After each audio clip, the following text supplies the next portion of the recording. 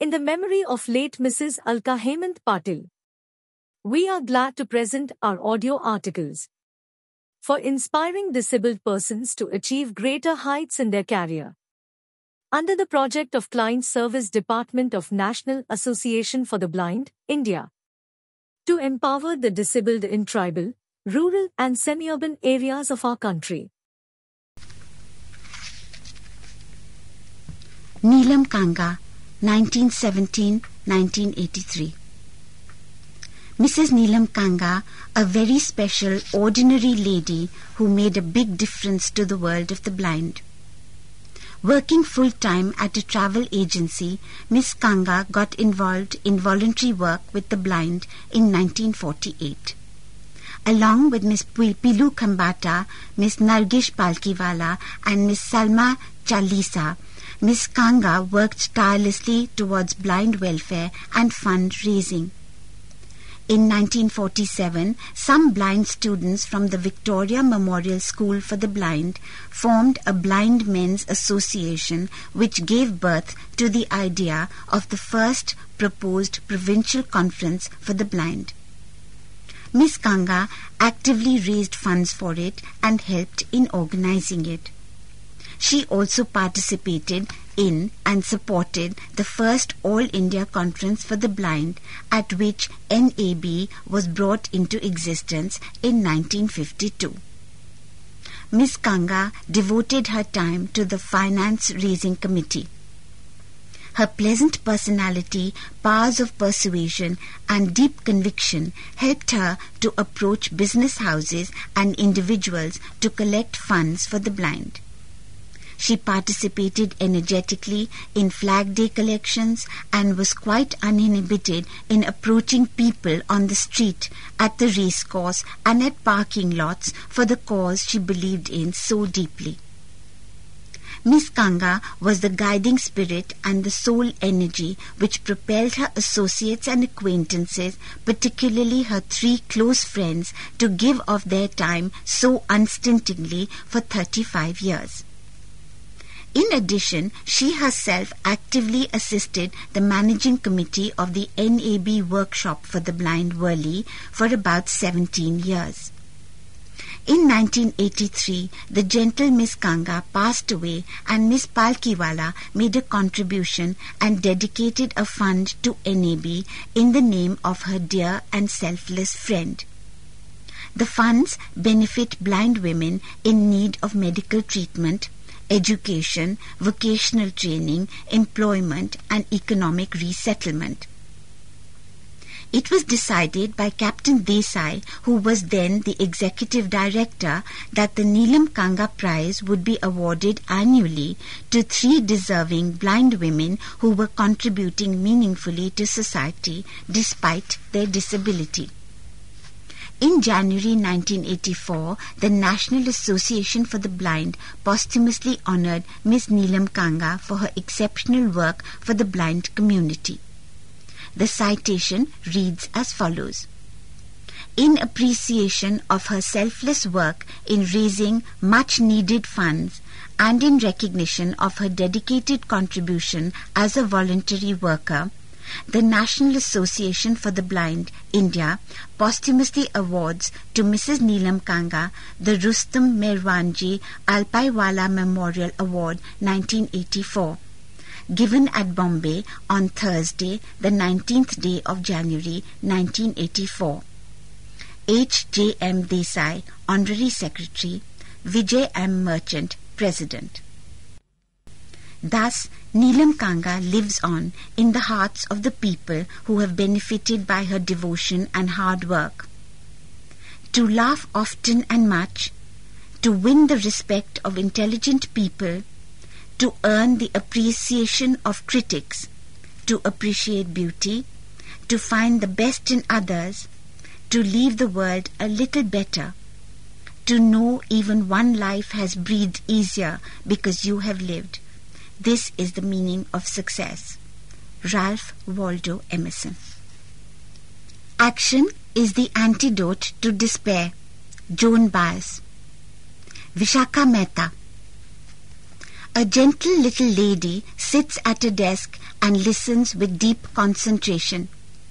She takes decisions with confidence and, guided by her assistant, signs her name on the spot where her hand is placed.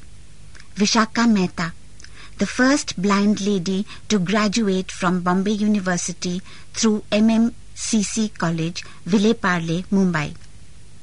The first one in India to pass her B.Ed from Sadhana Education Society, Santa Cruz, Mumbai. Sponsored by the Government of India for her teacher training for education of the blind one of the founder trustees of the Swar Ninad Samiti and the Atmonati Charities and the found- founder member of the National Federation of the Blind Maharashtra. These are some of the qualifications of the petite, unassuming Vishakha Mehta, who recently retired as the senior most school teacher from Srimati Kamla Mehta Dadar School for the Blind. Vishakha's father, Mr. Manilal Mehta, was an eminent lawyer, a freedom fighter, and an educationist, and her mother was a member of the Congress party. Little wonder then that Vishakha knew since her childhood that when she grew up she wanted to be a teacher and a social worker. Vishakha was born with retinitis pigmentosa, a degenerative optic disease, and so she never found it easy to study as she could not see clearly. Her parents battled with every conceivable treatment for her eyes, including the administration of dreadfully painful injections straight in the eye. But the dreaded malady continued its destructive march. Vishakha was expelled from the local school in the seventh standard because of her visual impairment. This cruel interruption in her studies shook Vishakha's equanimity and robbed her of her confidence. The sudden awareness that she was different left her feeling bewildered and unworthy. Her sister's husband, Mr. Shah, who Vishakha was always close to, helped mitigate her misery by assuming the responsibility of educating Vishakha in Bombay. The fine December day that Vishakha set foot in the Srimati Kamla Mehta Dadar School for the Blind, Bombay, marked the end of her life of dependency and opened up new, broader, if slightly uncertain avenues. Vishakha was taught Marathi and Braille before being readmitted to the seventh standard from where she had been cut off so abruptly. She completed her SSC with distinction through an integrated scheme. Unfettered now by the limitations of her small village, Vishakha could dare to dream once more. But when she lost her father, the world seemed to be closing around her with murmurs about terminating her education. Mr. Shah once again came to the rescue and whisked her away, introducing her this time to NAB India. Dr. Rajinder Vyas, the development officer at the time, helped Vishakha get admitted to Mithibai College. Mrs. Nama Bhatt, the principal of Srimati Kamla Mehta Dadar School for the Blind, also contributed greatly by advising Vishakha about her career. The undermining moments which she suffered due to her disability during her rocky college years added to experience, lessened vulnerability, and made way for her maturity to shine through. Dr. Vyas continued with his support, supplying her with a talking machine to study by and also by organizing scholarships from the Government of India and the Lions Club to see her through her graduation and Vishakha did graduate, setting records in distinction. A woman now, radiant and full of life and experience, when Vishakha joined the Dadar School for the Blind as a qualified teacher in 1972, she knew that her true potential lay deep within her, waiting to unfold. But now she had to shift homes every few years, living as she had been in working women's hostels. Vishakha experienced huge heartbreak due to the lack of sensitivity on the part of those on whose mercy she was dependent.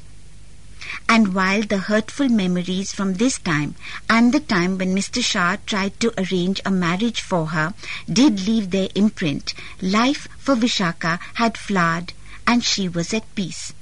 She immersed herself in her teaching and social work. Vishakha, along with Miss Kusum Nayak, also a teacher and social worker, organized a seminar at Dadar School where Captain Desai, the executive director of NAB India, announced the formation of the Committee for the Advancement of the Status of Blind Women, CASBW.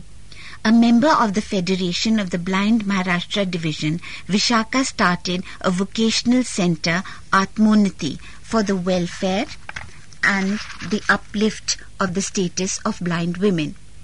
She also joined NAB India as a member of the executive committee and formed Swarninad, a trust for the handicapped which organized cultural competitions for the disabled.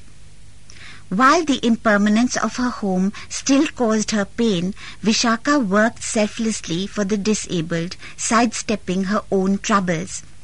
Her fortitude and deep faith furnished her prayer with wings, and a friend helped her eventually to set up a housing colony for the disabled.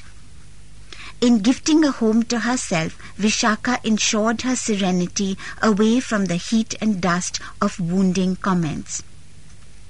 During her teaching tenure, spanning 28 years, Vishakha designed a pre-vocational training program for adolescent blind girls.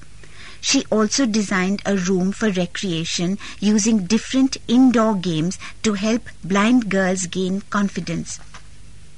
As editor of Vishwadarshan, a braille magazine in Hindi exclusively for blind women and published by NAB CASBW, she helped to highlight the aspirations and the problems of blind women and create a platform for the ex- exchange of information. She also compiled Hindi and Marathi cookbooks in Braille and developed a much needed Braille shorthand in Marathi. Vishakha represented NAB India at several national and international conferences and seminars for the disabled. Today, she gives tuition, plays cards and chess, enjoys listening to the television and reading books but her foremost passion to rehabilitate blind girls still remains her focus. She intends to accomplish even greater heights in this self inspired domain. The Neelam Kanga Prize for Grassroots Work and Economic Rehabilitation of Blind Women, which Vishakha received in 1986, made her feel really happy and most encouraged. It served as the starting point for many other awards of merit in later years. Vishakha received the Best Teacher Award of the Blind Relief Association MM Chhatrapati Memorial Award in 1994-95 the State Award for the Best Teacher in Schools for Disabled by the Government of Maharashtra, the Sunita Singhania Memorial Award for the Best Disabled Woman conferred by National Society for, the, for Equal Opportunities for the Handicapped, the Alpaiwala Award in 2001 for significant contribution towards the welfare of blind women, and several more from the Lions Club and the Giants Club of Mumbai. Vishakha views her role as that of a facilitator or enabler. She supports her protege and empowers them to go t- with their heads held high through the doors she holds open for them. A highly respected lady today, Vishakha feels blessed in her blindness because of which she managed to come to Mumbai leaving her restrictions far behind in her little town with its cluttered lanes and the distant call of the papiha bird heralding the onset of the monsoon. It is through the beautiful gifts she brought to the world of the disabled that Vishakha Mehta has realized her dream. When one must, one can. Yiddish proverb. Panna Pomal.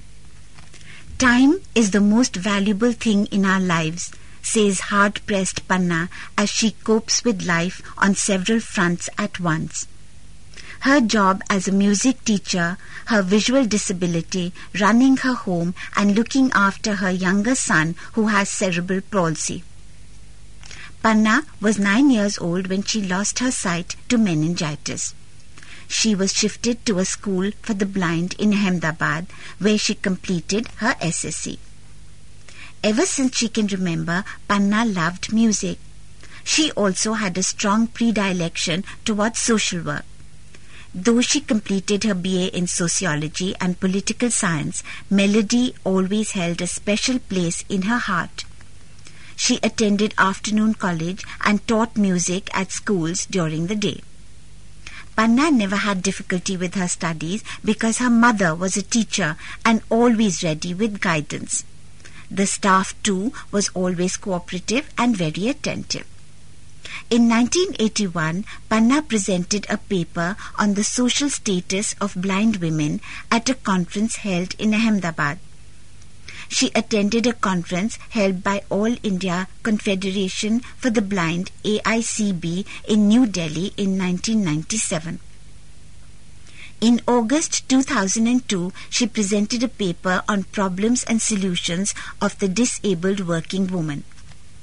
Panna is a member of the Executive Committee of Blind Men and Women's Association BMWA and NAB Rajkot District Branch.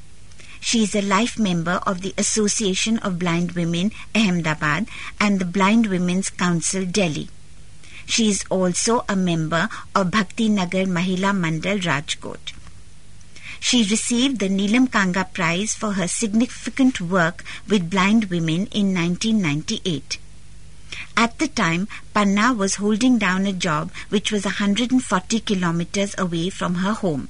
She was cooking, looking after her blind husband and two children, one of whom has cerebral palsy and is completely dependent on her.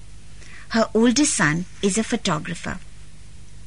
I was not only glad to receive the Neelam Kanga Prize, she says, but my willpower became stronger than before and I felt empowered to face any difficulty. The prize gave impetus to my social service, whereby I inspired blind girls to achieve extraordinary things. I am always ready to be friend, philosopher, and guide to them. It is also due to this award that I am able to handle my handicapped child bravely. Panna's tight schedule leaves her no free time for pursuing any hobbies, but she m- always manages to spare some moments for the needy. She rehabilitates young blind girls by counseling them, teaching them to drape a sari, to cook, and to look after their homes. Time and tide wait for no one, Panna says seriously. So I believe in utilizing every second of my life to do something valuable. In brief, I would like to use my abilities and my strength for uplifting the disabled and the poor. I also strive to be a good wife and mother to both my sons, particularly the little one, the light of whose light, life I am. The winds and waves are always on the side of the ablest navigators. Edward Gibbon. Hiramani Wadhwa. In the office of the Bombay Municipal Corporation, Chembur, Mumbai, sits a middle aged, small built lady. She is the Community Development Officer in charge of one of the most important departments in India today education. The youngest of three sisters, Hiramani, was born sighted, but due to a high fever at the tender age of one, she lost her vision. Her mother, a strong lady of compassion and wisdom, with, with an ability to see beauty even in the face of adversity, eagerly took on the task of lighting the way for her child and firmly guiding her faltering little footsteps. Hiramani grew up with a zest for learning and a positive outlook on life. Being comfortable with herself and full of confidence, she did not spend time concentrating on her disability. She was instead always sensitive to the problems faced by others and ready with help. This gift of giving was the legacy her mother imbued Hiramani with. Hiramani cannot pinpoint exactly how the burning desire for social work overtook her. Perhaps it had its moorings in the fact that she faced life at its rawest as she grew, burdened with having to constantly prove herself despite her considerable talents. The desire for social work seemed to run in my veins. I just had to do it, she says. All through her substantial educational career and later at her job, the anguish Hiramani suffered due to thoughtless behavior helped her develop a strong understanding for facing and overcoming challenges. She completed her SSC from Chabildas Girls High School, where she was a Red Cross volunteer and a Girl Guide. She then trained for two years with NAB India and took vocational training from the Central Training Institute. After completing her BA and MA in social work from Nirmala Niketan, she did her LLB from Law College and after that the one-year Women's Study Certificate course from SNDT before she passed the local government service course in training for the BMC. The main thrust of the education department is to reduce the dropout rate of students in municipal schools. The children, coming from rough backgrounds and living in slums as they do, require very special sensitive handling. A daunting task in itself, but Hiramani, despite being visually challenged, is entirely equal to it. The seeds of discipline and good value systems have to become a way of life for our children from the start if our nation is to prosper, she says forcefully. She and her colleagues have a multi-dimensional job which begins with their visits to the slums.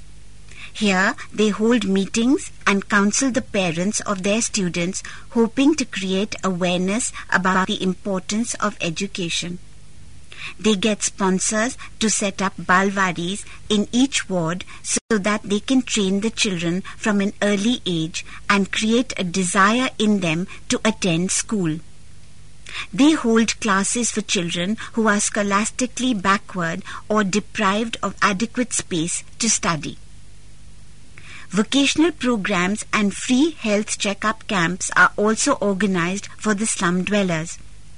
The support for all this is provided by corporate houses, the Rotary Club, the Lions Club, and other organizations whom Hiramani and her colleagues periodically approach on behalf of the BMC.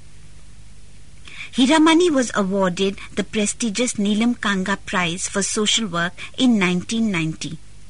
She works with a passion to the exclusion of all else, her sister says, I worry about her sometimes because once she had an accident while coming home and was unconscious for two days.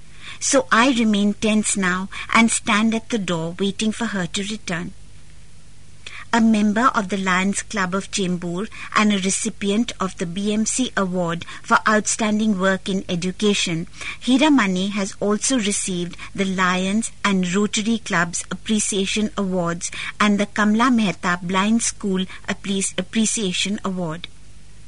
Hiramani believes in selfless service actively participating towards improving social values and creating a positive image of the disabled in the eyes of society. For her personal growth, not content with the long list of qualifications she already has, Hiramani plans to achieve a PhD. She is fond of singing and reading and listening to the television a true lady of substance, Hiramani has effectively turned her vision into reality and made significant things happen for the singular benefit of the community at large. Hemant J. Patil, Honorary Secretary, National Association for the Blind, India.